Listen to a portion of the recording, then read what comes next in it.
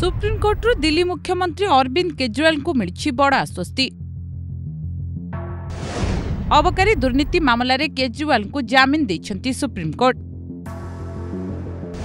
CBI ଯାଞ୍ଚ କରୁଥିବା ମାମଲାରେ ଦିଲ୍ଲୀ ମୁଖ୍ୟମନ୍ତ୍ରୀଙ୍କୁ ମିଳିଛି ଜାମିନ। ପ୍ରବର୍ତ୍ତନ ନିର୍ଦ୍ଦେଶାଳୟ ମାମଲାରେ ପୂର୍ବରୁ ହିଁ କେଜରିୱାଲଙ୍କୁ ଜାମିନ ମିଳିସାରିଥିଲା। ସିବିଆଇ ମାମଲାରେ କିଛି ସର୍ତ୍ତ ସହ ସୁପ୍ରିମକୋର୍ଟ କେଜରିୱାଲଙ୍କୁ ଜାମିନ ପ୍ରଦାନ କରିଛନ୍ତି। ଶହେ ଛପନ ଦିନ ଜେଲ୍ରେ ରହିବା ପରେ କେଜରିୱାଲଙ୍କୁ ମିଳିଛି ଜାମିନ। ମାର୍ଚ୍ଚ ଏକୋଇଶ ତାରିଖରେ ଗିରଫ ହୋଇଥିଲେ କେଜରିୱାଲ।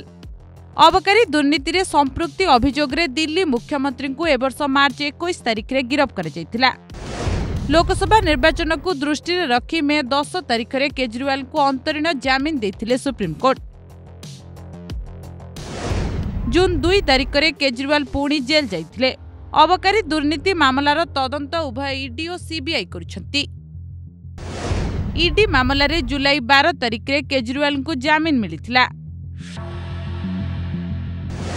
ଜାମିନ ଦେଲେ ସର୍ତ୍ତ ବି ରଖିଲେ ସୁପ୍ରିମକୋର୍ଟ ଅରବିନ୍ଦ କେଜରିୱାଲଙ୍କୁ କିଛି ସର୍ତ୍ତ ସହ ଜାମିନ ଦେଇଛନ୍ତି ସୁପ୍ରିମକୋର୍ଟ କେଜରିୱାଲ ମୁଖ୍ୟମନ୍ତ୍ରୀ କାର୍ଯ୍ୟାଳୟ କି ସଚିବାଳୟ ଯାଇପାରିବେ ନାହିଁ।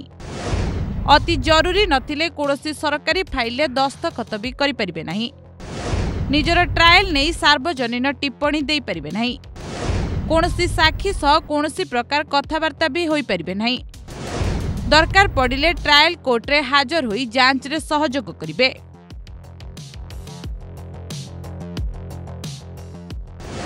ଦିଲ୍ଲୀ ଅବକାରୀ ଦୁର୍ନୀତି କ'ଣ?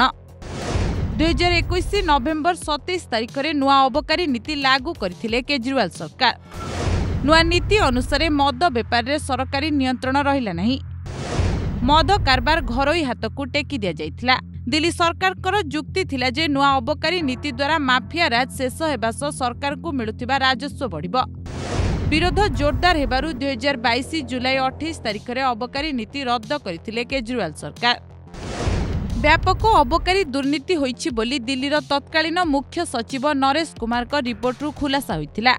ରିପୋର୍ଟରେ ଦିଲ୍ଲୀ ଉପମୁଖ୍ୟମନ୍ତ୍ରୀ ମନୀଷ ସିସୋଦିଆଙ୍କ ସମେତ ଆମ୍ ଆଦମୀ ପାର୍ଟିର ବଡ଼ ନେତାମାନଙ୍କ ବିରୋଧରେ ହୋଇଥିଲା ସଙ୍ଗୀନ ଅଭିଯୋଗ। ସିସୋଦିଆଙ୍କ ହାତରେ ଅବକାରୀ ମନ୍ତ୍ରାଳୟ ମଧ୍ୟ ଥିଲା। ନୂଆ ଅବକାରୀ ନୀତି ଯୋଗୁଁ ଲାଇସେନ୍ସ ପ୍ରାପ୍ତ ମଦ ବେପାରୀଙ୍କୁ ଅନୁଗ୍ରହ ଦେଖାଯାଇଥିଲା। କୋଭିଡ୍ ଆଳରେ ମନଇଚ୍ଛା ଭାବେ ଶହେ ଚଉରାଳିଶ କୋଟିରୁ ଅଧିକ ଟଙ୍କାର ଲାଇସେନ୍ସ ଫି ଛାଡ଼ କରାଯାଇଥିଲା ବୋଲି ଅଭିଯୋଗ ହୋଇଥିଲା। ଦୁଇହଜାର ବାଇଶ ଅଗଷ୍ଟ ସତର ତାରିଖରେ ଦିଲ୍ଲୀ ଉପରାଜ୍ୟପାଳ ବିଜୟ ସକ୍ସେନା ମାମଲାର ସିବିଆଇ ଯାଞ୍ଚ ନିର୍ଦ୍ଦେଶ ଦେଇଥିଲେ। ମନି ଲଣ୍ଡରିଂ ଅଭିଯୋଗ ପରେ ମାମଲା ରୁଜୁ କରି ତଦନ୍ତ ଆରମ୍ଭ କରିଥିଲା ପ୍ରବର୍ତ୍ତନ ନିର୍ଦ୍ଦେଶାଳୟ। ପ୍ରଥମେ ଗିରଫ ହୋଇଥିଲେ ମନୀଷ ସିସୋଦିଆ ଅବକାରୀ ଦୁର୍ନୀତି ମାମଲାରେ ପ୍ରଥମେ ଗିରଫ ହୋଇଥିଲେ କେଜରିୱାଲ ସରକାରଙ୍କ ନମ୍ବର ଟୁ ମନୀଷ ସିସୋଦିଆ ଦୁଇହଜାର ତେଇଶ ଫେବୃଆରୀ ଛବିଶରେ ସିସୋଦିଆଙ୍କୁ ଗିରଫ କରିଥିଲା ସିବିଆଇ। ଏ ବର୍ଷ ଅଗଷ୍ଟ ନଅରେ ସିସୋଦିଆଙ୍କୁ ଜାମିନ ମିଳିଥିଲା ଗତବର୍ଷ ଅକ୍ଟୋବର ଚାରି ତାରିଖରେ ଗିରଫ ହୋଇଥିଲେ ସଞ୍ଜୟ ସିଂ। ବିଆର୍ଏସ୍ ନେତ୍ରୀ କେ କବିତାଙ୍କ ନାଁ ଦିଲ୍ଲୀ ଅବକାରୀ ଦୁର୍ନୀତିରେ ଆସିବାରୁ ତାଙ୍କୁ ଏହି ବର୍ଷ ମାର୍ଚ୍ଚ ପନ୍ଦର ତାରିଖରେ ଗିରଫ କରାଯାଇଛି। ଶେଷରେ ମୁଖ୍ୟମନ୍ତ୍ରୀ କେଜରିୱାଲଙ୍କୁ ଏ ବର୍ଷ ମାର୍ଚ୍ଚ ଏକୋଇଶ ତାରିଖରେ ଗିରଫ କରିଥିଲା ଇଡି।